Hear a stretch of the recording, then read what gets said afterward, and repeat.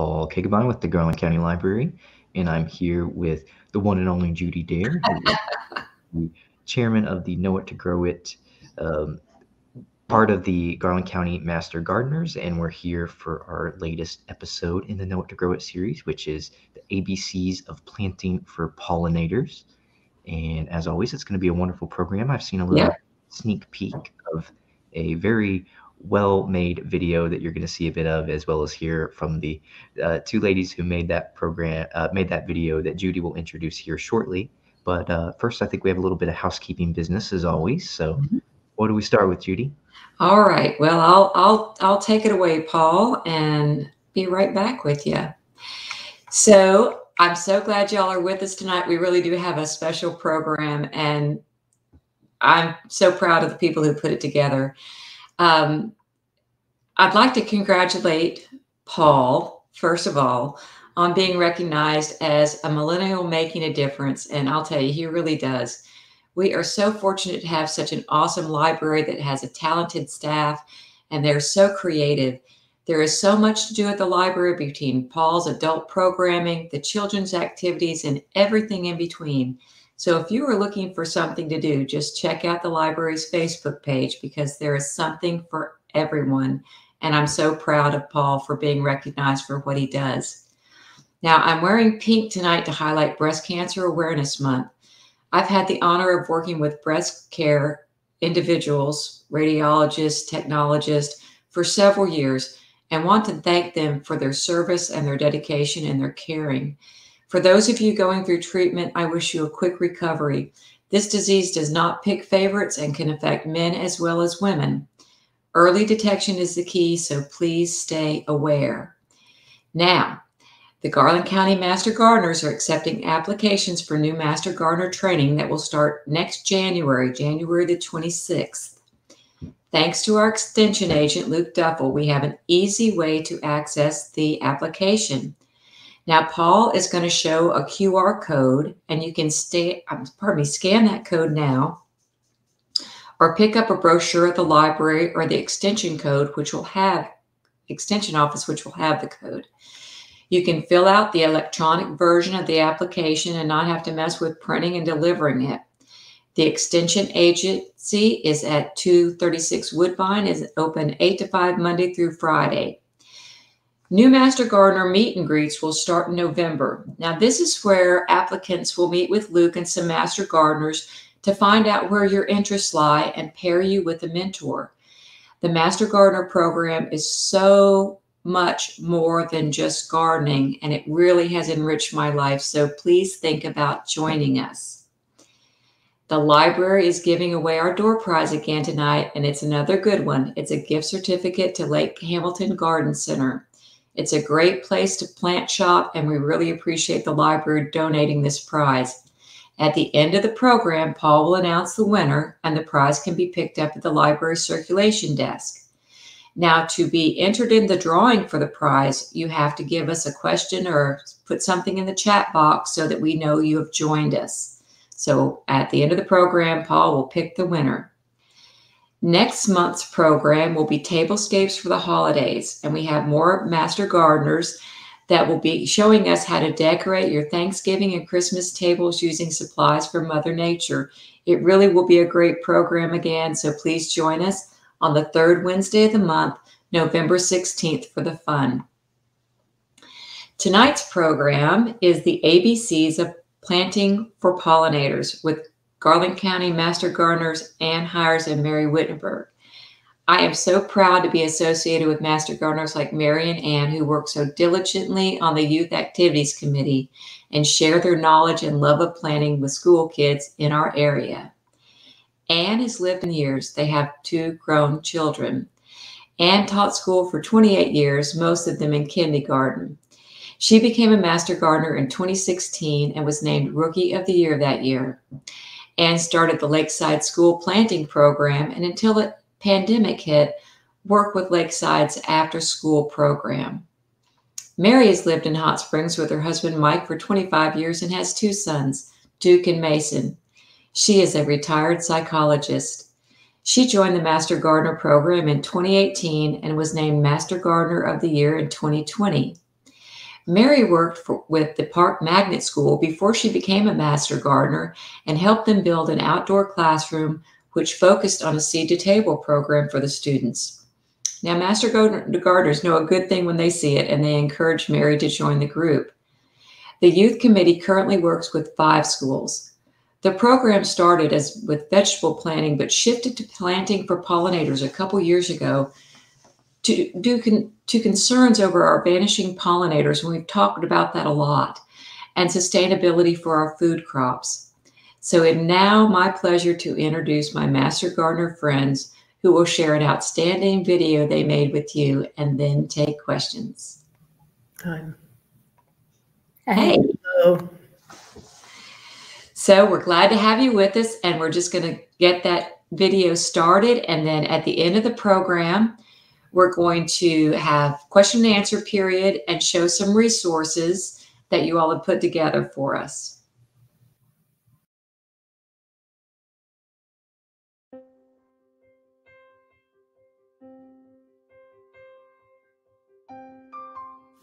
Of course, I've always enjoyed seeing butterflies flutter across my path or yard. Then my encounter with Diana Fritillary on the driveway. And I wondered, why here? Why now? So I told a friend, an active Florida butterfly group friend, and she said, Do you have violets in your yard? The answer is yes. We've been fighting them for years.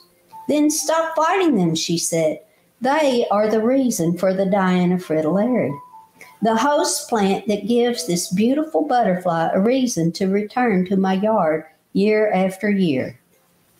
So I did some reading, a lot of observing, and now I believe attracting butterflies is as simple as planting a few things they need. Recently, I was working with a couple of high school girls on an outdoor project, and one asked me, Is it really that easy to attract butterflies? Well, I now believe it is. Plant them, and they will come. If you have nectar plants, trees, shrubs, or flowers, you are already being visited for nectar. If you dig deeper and have host plants or a host tree, you are well on your way for a butterfly habitat. I had a host plant in my yard and was unaware until I really started paying attention. You may already be a butterfly host too. With nectar plants, host plants, sun, and water, you will be providing a place for Diana Fritillary and others to lay eggs and food for the caterpillars. Butterflies use smell and sight to find nectar and host plants. They are influenced by the nutritional needs of their offspring. They see bright colors with their complex multi-directional eyes. They can smell a pollinator plant for miles after all, they smell with six legs and two antennae. Then, when they land with their feet, they'll help sense where their food is and if it is nutritious. Nerve cells all over their bodies receive chemical cues that help direct them to food and a place to lay their eggs. An important fact is that most butterflies and moths have several host plants, but the large, beautiful monarch's only host is milkweed. So milkweed is a must if you want to be visited by monarchs. If you only have room for a pollinator container, then go for it with bright colors and lots of blooms. If you need raised beds to improve soil and drainage, then that's the way to go. We will show you a freeform garden, several raised bed gardens, and a couple of butterfly gardens that we've already planted for existing spaces. Our hope is to inspire you to the fascinating world of butterfly watching. In planting for butterflies, we also help many other pollinators. We've put the plant names on some of the pictures for you, and at the end of the presentation, we will have a plant list for, for you from the gardens we will be showing you. Also, we will have a list of resources and a question and answer time. This picture here is shows the planter boxes at Park Magnet School. They contain carrots, dill, and fennel. These plants are black swallowtail host plants. The next bed closer to us shows the passion vine, which is a nectar and a host plant for the Gulf fritillary. If you have a favorite butterfly that you would like to attract, look it up, see if it lives in our area, read about its host. When planting, try to extend the time that you will have blooms so early and late season visitors will have food. I've had bees on winter honeysuckle all the way until January. Native plants have evolved together with native species in our area, so you are spending wisely and helping the best way with native plants. The research shows how many more species visit native plants as opposed to imports and lawn grasses. Native grasses like the little blue stem, the grama grasses, and sea oats are host plants to a whole group of delightful skippers, butterflies. Dead leaves on the ground are host sites for some also beautiful hair streaks. So please leave the leaves. Wild clover are great early bloomers for pollinators, and having them in your yard can increase pollination in your vegetable garden. Have you ever had an odd cucumber? This is due to incomplete pollination. You can mow around these early flowers until other things come into bloom. Mary, my remarkable friend, planned, built, and maintained our committee's prize garden many years before she became a master gardener, before we came to help her. She led in transforming a former flood zone into a beautiful, much used outdoor classroom, rain garden, and butterfly area at Park Magnet School. We like the shape of this garden. It's loosely a kidney bean shape. It's natural looking. It lends itself to lots of colors and plant varieties. It's much fun to maintain dividing and multiplying species that we share with our other sites. This garden has a sweet spire hedge around one end, tall bee balms, black and blue sage, pineapple sage, yarrow, and a large ironweed, somewhat rare, that we have greatly enjoyed spreading around. It also has woodland aster and not showing is lamb's ear and green eyed flower. Here is our committee decorating the garden that's seen from the lunchroom hall during COVID. This is a picture of the park rain garden area before the rain garden was built. It was initially knee deep in mud and water. This picture is a drawing that was made by the Stormwater Commission of Hot Springs uh, City Hall of a proposed garden, and this was the initial garden that was built. This is the garden after six years in existence. This is a weather station that we built for the outdoor classroom. This bridge was built so water could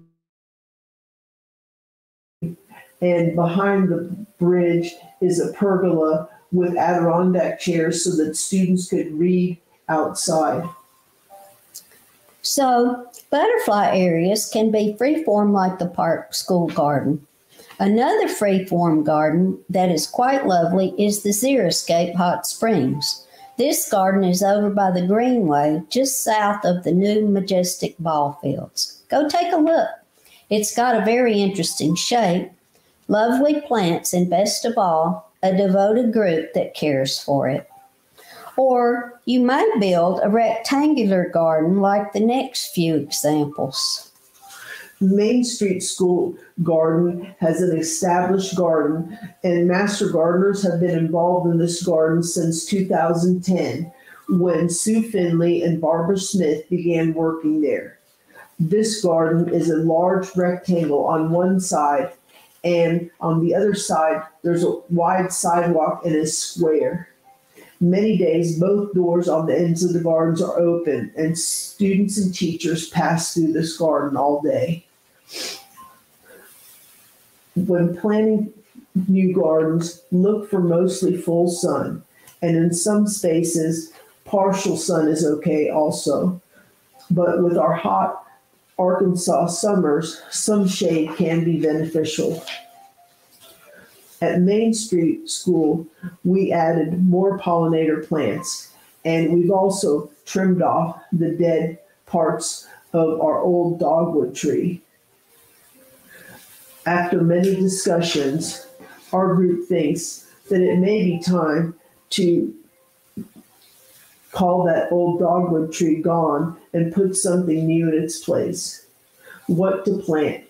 Our group remains undecided, but we want to plant a new plant that will be visited by as many species as possible.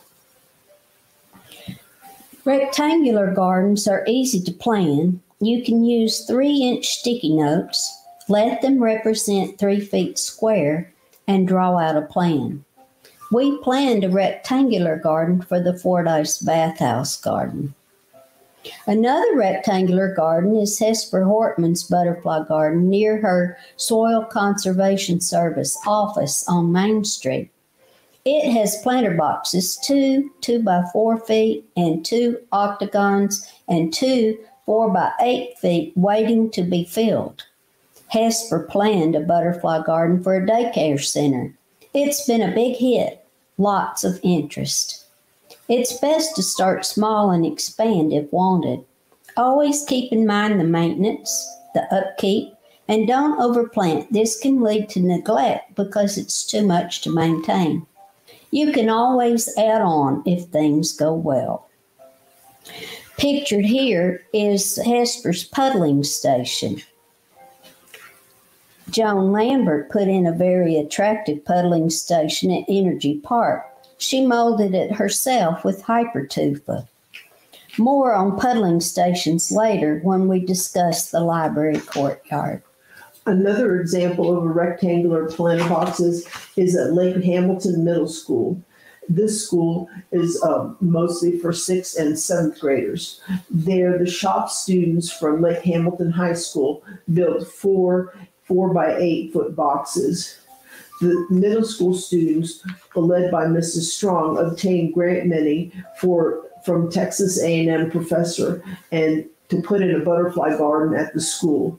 Students helped to fill the planter boxes with soil and planted the plants and then painted rocks to label each of their new plants. This is obedient plant with cone flowers. Coreopsis, a little pugster butterfly bush, and yarrow. A buckeye on a, the little pugster butterfly bush. Obedient plant in the back box and in the front box, black and blue salvia and ironweed. A sunflower, monarda, and cone flowers two types of Monarda or wild bergamot. A fringe, a little small fringe tree and vitex tree. And here's the vitex tree in bloom.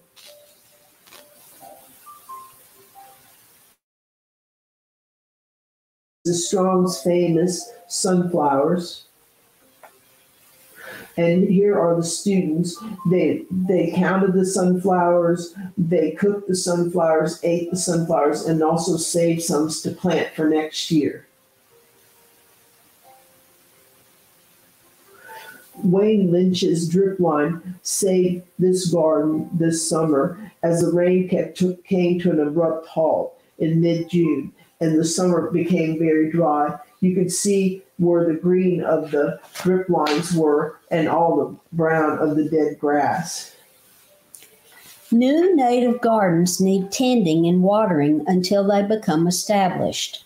After planting several new gardens, it looks like this until established time may indeed be the entire first year. So, until established time varies a lot depending on seasonal weather. A new garden must be closely watched.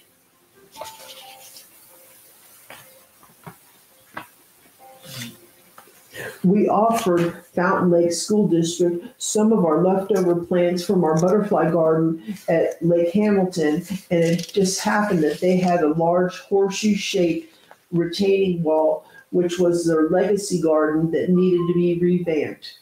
Lynn Janaski, our master gardener with that district, was quick to jump to the offer. She spoke with Carol Mercer, the agriculture teacher, and he requested that we uh, put in some plants in the school colors, which are yellow and purple. So we thought about which were some good plants in these colors purple porterweed, black eyed Susan, yellow blooming jasmine, purple prairie coneflowers, purple ground hugging lantana, beard's tongue, Mexican hat. They already had purple crepe myrtles, so we began with a pruning demonstration on them. James Moore did a pruning demonstration for the students. Here's a student pruning a crepe myrtle with Ann Hiers. We also met with the students and did a craft classroom lesson on native plants and landscape design. Post-it notes layout for squares or rectangles are easy. Kidney bean shapes are highly effective, but sometimes an opportunity comes up like Fountain Lake that we just had to take. And my advice on an already existing garden is to just get started with what's available at the box stores and local nurseries. When presented with an opportunity to plant an existing garden, do your homework arm yourself with plant lists and recommended species, lay it out with taller species at the back or middle, go shopping with your phone and hope for, I, for Wi-Fi to look things up. Is it native? How big does it get? What are its water requirements? When does it bloom and for how long? Plant size tends to dictate where it needs to be placed. But after many years of gardening, I finally realized that plants can be dug up and moved. It's okay. And sometimes a new location can inspire something quite wonderful.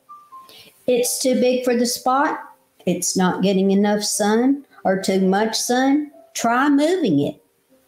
Fitting a pollinator garden into an existing shape is trickier, more involved, but rewarding. This is a picture of of the students and master gardeners adding soil and compost in the, to the beds. This is our first planting day. This is our picture of our happy senior who's now gone to college to become an agriculture teacher. These are the plants with the legacy blocks. These are plants which are behind their large podium and this is a view of the garden from the south end. We were asked to plan and plant the Garland County Library courtyard. On this project, it was requested that we include songbird interest plus a seed saving element. Paul, our library guy, suggested a seed saver area as the library has a seed catalog. When birds became part of the plan, a water feature needed to be water, and moving water also attracts their attention. With water added, we planned a puddling station and mister to keep the sand damp. Hummingbirds like to play in the mist. In planning this garden, I had to enlist help with the plan drawing. I initially made a mistake that was quickly noticed upon the big first big rain after we installed the rock border. Quick adjustments were made before planting day to correct the drainage that we blocked. Boy, it looked good. It just filled up like a bathtub, as Butch put it. Butch is the new facilities guy at the library and really great to work with. So quick adjustments were made just before planting. Many thanks. Puddling stations are areas with wet sand and mud that hold minerals that butterflies and other insects instinctively seek to stay healthy. Sea salt and well aged manure can be mixed in with the sand and mud to enhance your number of visitors. In the wild, creatures eat rotted fruit and dung and can be observed on muddy roadsides or in barnyards in the muck feeding. Nearby rocks give butterflies a place to sun and dry themselves. After observing this for almost a year, I'd say the wasp and dirt daubers enjoy this area more than any other species. Then we had three work days. First, to clear the grass, second, to add the soil, and third day was plant day. Here's Kelsey, our library employee volunteer. The question of the day was How many master gardeners does it take to get a toad out from under a parked car in the parking lot? The answer at least 12. Now it's fun to work in the court- courtyard. There's always activity buzzing bees, giant grasshoppers, and the biggest praying mantis I've ever seen. He had his funny head cocked and was staring at me when I got the phone focused on him. Just a little bit creepy. Guess my favorite is the funny squeak of the hummingbirds fussing at you and hoping you're leaving their area. You've interrupted them again. In closing, we hope we have given you some ideas about planting for pollinators I urge you to get involved in providing homes for lots of species. Observing them enriches our daily lives. Together, we can make a difference, beautify our surroundings, and contribute our little square of the big patchwork quilt. In the words of Doug Tallamy, noted biologist, Imagine if all the back and front yards and even patio container plants across the country were seen as one magnificent patchwork quilt, a homegrown national park. Home gardeners would join forces to bring back a variety of native plants to protect and nurture struggling birds, bees, and other pollinators. Well, I'm all in, Doug Tallamy. I sure hope some of you listening this evening will join us.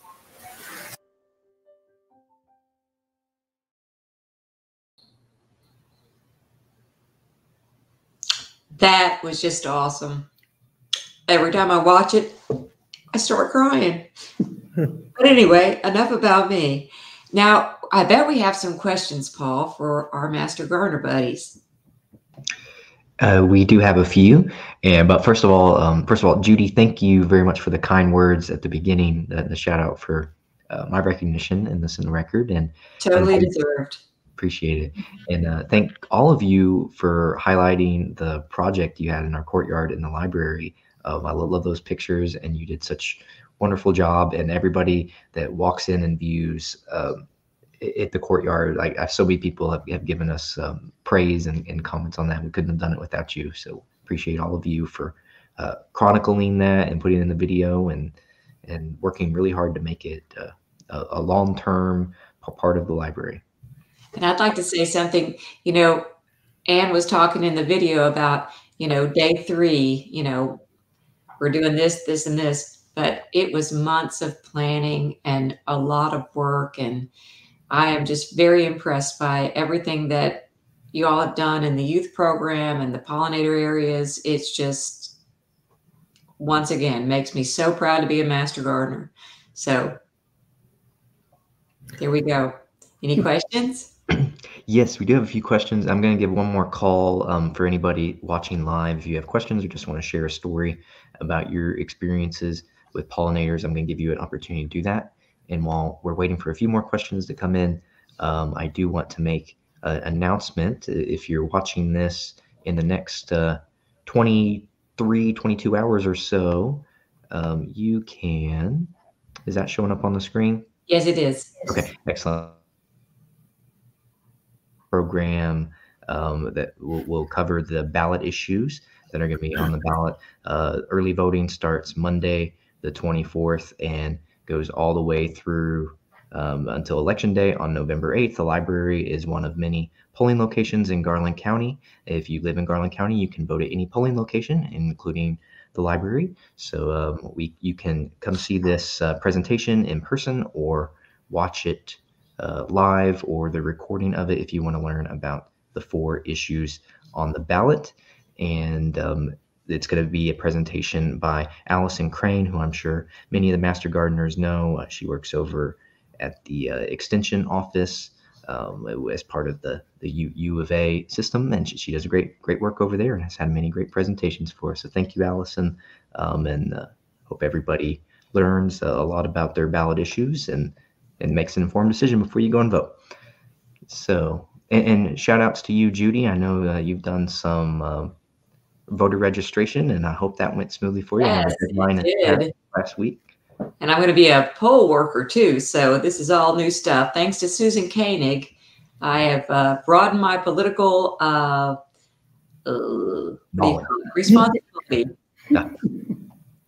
So right. anyway, I just thought the video was great, and I also want to say a big thanks to Pam McCoy, mm-hmm. and also, as I understand, Ann's husband Mike. so thank you, Mike and Pam.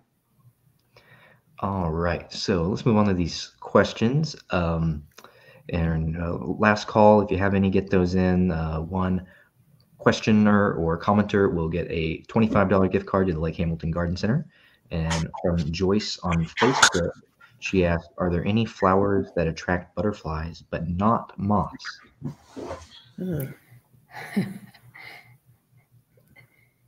How dare you ask something we don't know the answer to? I have found out a lot about moths that I didn't know, but I don't know of a flower that attracts one but not the other.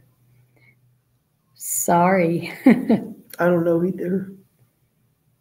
The moths like the grasses, and that's their host plant, um, the native grasses. Um, I found that out. I did not know that. And they also, a lot of moths nest in the leaves that you, it, that's why we say leave the leaves. And if you ever um, water with your hose, when and not just automatic watering, when you're watering with your hose, you can see little moths run to take cover because they don't like to be too wet.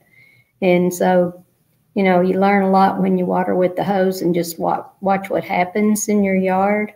So that's how I learned a lot about moths. There's a whole group of them that are white. They're really cute. Uh, well, thank you for your your stumper, Joyce. Uh, I'm sure between all the gardening books and the insect books at the library, we probably have about 2,000 of those, and somewhere in one of them, there's an answer. That's right. Uh, Joyce followed up with, "I'm curious because I have beehives and don't want to attract any moths." Oh. Oh. Oh. Um, did, did you have a softball, Judy? Well, actually, I I really um, am interested in what you think is if you if you got to pick maybe two plants to plant in your pollinator garden, what would you all pick? I would pick a butterfly weed so that you would. It's a really good um, plant for monarchs, so I would pick that one. What would you pick? Yeah. I would pick probably black and blue sage. It's it's popular. It spreads by itself, and oh, uh, after it freezes, you just snip off the tops, and then in the spring it starts back up.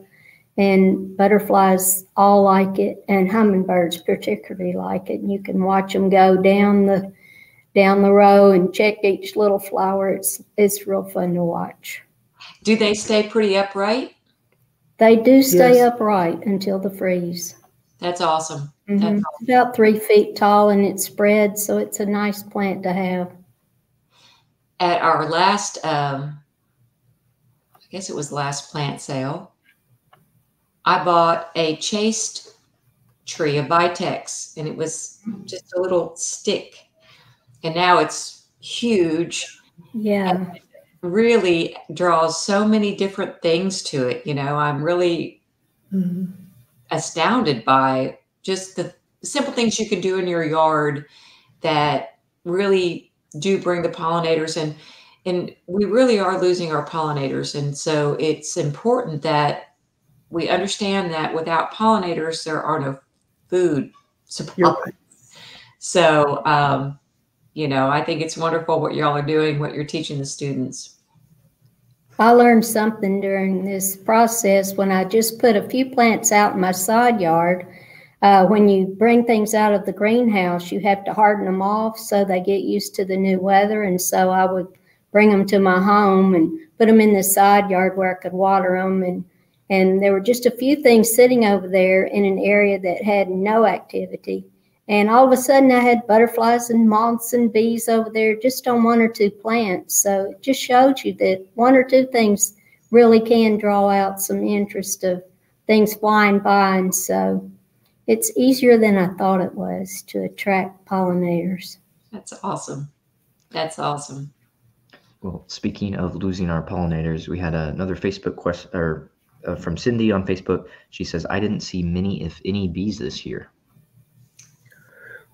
We've seen We've a lot seen a of lot. these. There's a lot of bees Mhm. The thing, um, when we, we planted a fennel plant and it was just like a tiny plant, like that big. And then we just happened to plant it in front of a, a watering, uh, system, in front of our watering hose. And it grew like over six feet tall.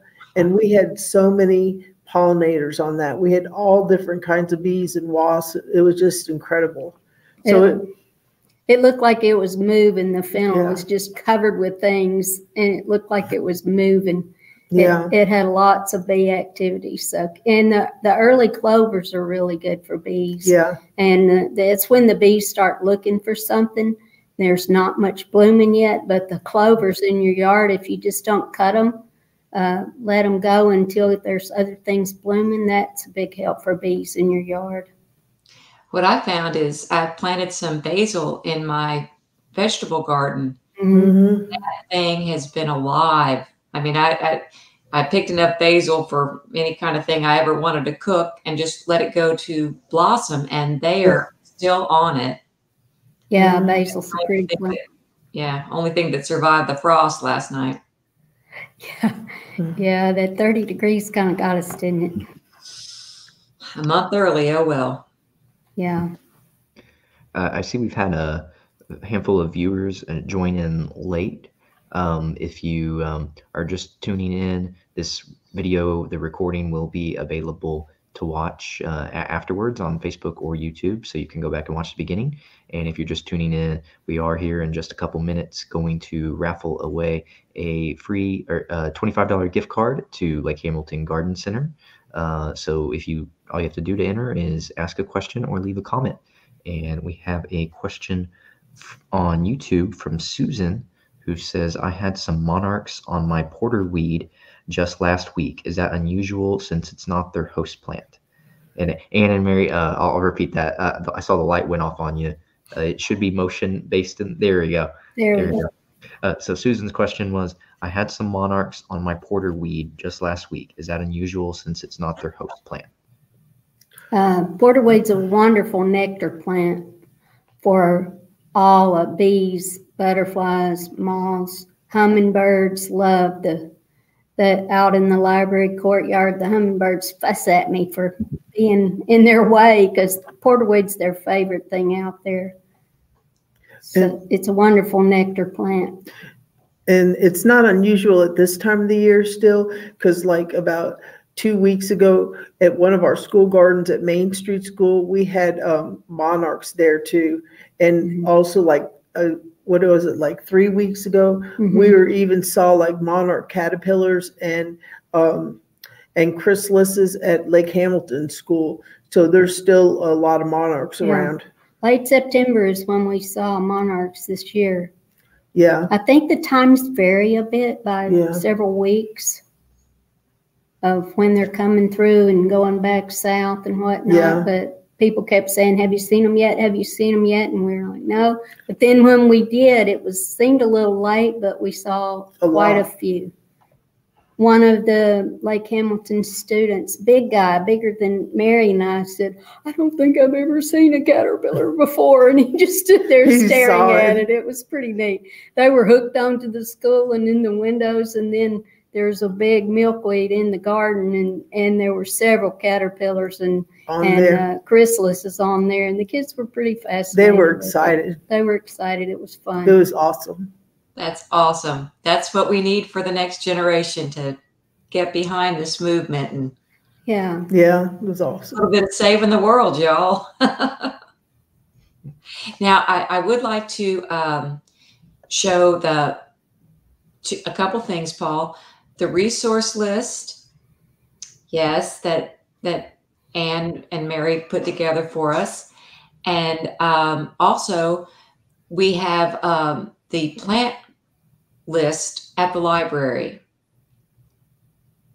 So these are wonderful resources. And these two uh, plant lists are at the library for you to pick up. And then we're always open for questions, and you can get a hold of us through the extension agent and uh, agency. And like I said, it's at 236 Woodbine, or just give them a call. If you've got any questions for Ann or Mary, we'll be happy to pass those along. And one other thing I'd like to show again is the QR code, which we're really proud about, obviously, that you can access to um, apply to be a master gardener. And it, it sounds like, you know, apply to be a master gardener is a big thing. We just want your information. If you're interested in it, we'll, we'll contact you. We'll get you with the mentor. And Ann and Mary are, have both been mentors. I was a mentor, but I'm not a very good mentor. So I'm not good anymore but um, you know it it they kind of take you through the steps show you the projects that they work on and the project that everybody else works on and it really is a unbelievable group of people with so much knowledge that you can learn from and uh, so like i said i encourage everybody if you want to be a master gardener shine your light uh, your phone light on that camera on that qr code and and sign up I think you'll get a lot out of it. And if nothing else, you'll learn how to plant a wonderful pollinator garden in your home yard. So that's all I've got, Paul. Mary Ann, anything else? No. No. Thank you. It was a wonderful, wonderful video and a wonderful program and a lot of hard work. And I sure do appreciate it. You're welcome. Thank you, Paul. Thank you. Absolutely. And we have a winner. Um, Yay! and our winner uh, is from YouTube, Susan K. Congratulations. Awesome. Just uh, come to the front desk at the library and uh, let them know you want a gift card, and we'll grab it for you and have you sign for it. So That congratulations. is awesome. I bet we know that, Susan K. I think we do. Yay! Oh, and- and All right. Susan says uh, your presentation was delightful. Thank Yes. you. All right. Well, thank you, everybody. Judy, do we have a topic to reveal for November? Oh, yes, it is the uh, holiday tablescapes. Uh, Marianne Jarvis is going to be doing some tablescapes for uh, Thanksgiving and Christmas. And she'll also have some help from Teresa Withers making wreaths and just using a lot of things from nature. Uh, so I think it'll be really fun to watch, and they're really, really creative. Um, Dee uh, Offerman and Marianne have done these things in the past, and it's surprising what they can make out of just a stick. Uh, you know, it's just I, I'm not that crafty, but join us next month for uh, some really great, uh, fun holiday crafting. I guess third Wednesday of the month at six o'clock. Paul and I will be here, so we hope you all are too. And that'll be the 16th. Yep, the sixteenth. All right. Well, thank you, all of you, the Master Gardeners. Uh, love our relationship at the library with the Master Gardeners and all you do for us, all this great programming, the courtyard, and so many other things you do for the library and the community and our patrons. And uh, hope everybody has a great evening. And if you tuned in late or you want to share this program, You can watch it in its entirety from the beginning on Facebook or YouTube, as well as the uh, what is it, almost 20 now programs we've done that are recorded. 24. 24. Wow, to two dozen. All right. So the, all those are available um, on, on, the library's playlist uh, on Facebook and YouTube. Uh, you'll be able to go back, scroll back there in order from most recent to oldest. So there's a lot of great topics there. Yep. Yep. I, and lots more.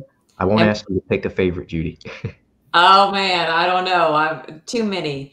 Uh, uh, my relationship started with just being really scared about, you know, getting on the virtual uh, situation, and then it is. Um, it has broadened my horizons because I've gotten to talk to so many different people, meet so many different people, and the library has just given me that opportunity. And the Master Gardeners, once again, appreciate the library as well. And the library is embarking on a new journey with the community garden that is going to be so cool. I cannot wait. What what Ann and Mary have done with the courtyard is going to explode. And mm-hmm. It is. And yeah. Adam and Kelsey, it just. I just thought of an idea that I'll say live on on the broadcast here. Uh, mentioned our facilities manager Butch earlier, and I don't know if he's willing but uh, we should try and get him as a guest whenever that the courtyard is ready to go. I think that would be great because it's going to be awesome, y'all. So we're we are so fortunate to have a library that is so progressive mm-hmm. and so into the community because not many people have it. I yeah. was talking to my sister today and she's like, "Man, our library is absolutely awesome." I'm like, "Yes, it is." So very good. Have a lovely evening. Happy Breast Cancer Awareness Month. Happy Halloween. We'll see you before Thanksgiving and show you how to build a beautiful tablescape. Neat. All right, have a good one, everyone.